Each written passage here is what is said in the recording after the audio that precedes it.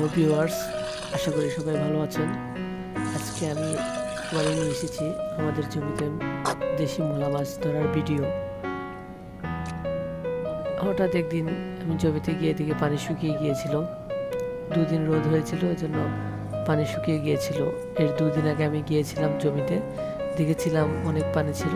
হঠাৎ করে পানি শুকিয়ে গিয়েছিল দুদিনের রোদে। তারপর আমি পরের দিনই চলে এসেছিলাম মাছ ধরতে। অনেক মোলা মাছ ধরেছিলাম। আজকে এই মোলা মাছ ধরার ভিডিও আমি আপনাদেরকে দেখাবো।